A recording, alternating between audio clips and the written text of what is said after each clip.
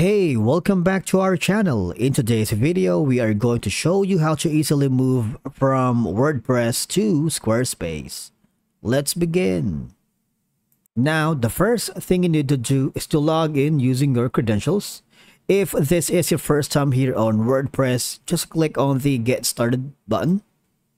And from here, creating your account in WordPress is very easy. You can simply continue with Google, you can continue with Apple, or, or continue with GitHub.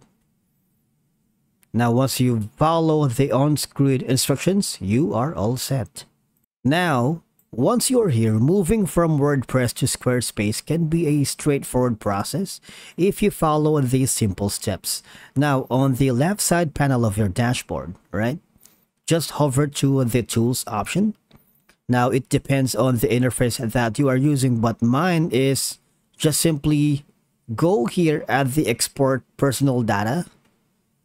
Now, when you do that, all right, now after doing so, all I'm going to do is provide your user or email address so you can add the data export request, right? And once you've downloaded your personal data here on WordPress, we need to get to our Squarespace.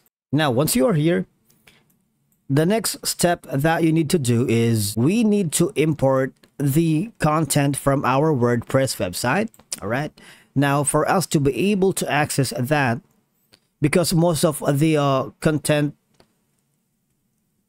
or supports um, Squarespace are basically from WordPress, Blogger, and Tumblr. So these platforms are supported here in the uh, Squarespace. Now, when importing any content, basically what you need to do is just go to the content panel of your um, account or your dashboard, right?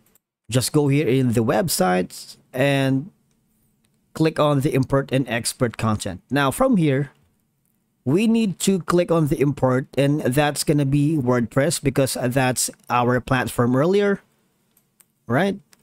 And from here, you can fill in your WordPress credentials to move your content over to Squarespace. Just provide your WordPress URL, your login if you want to let them, and your password. But there's also an option here where it says advanced.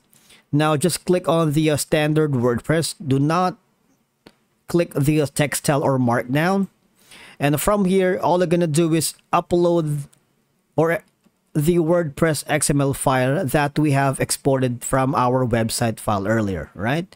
And if you've done that, all they're going to do is begin import and you will see the uh, progress in the uh, status bar. And once you've done that, once it's finished, you easily move the WordPress to Squarespace, all right? And that's it for today's video. Thank you so much for watching. We will see you in the next one.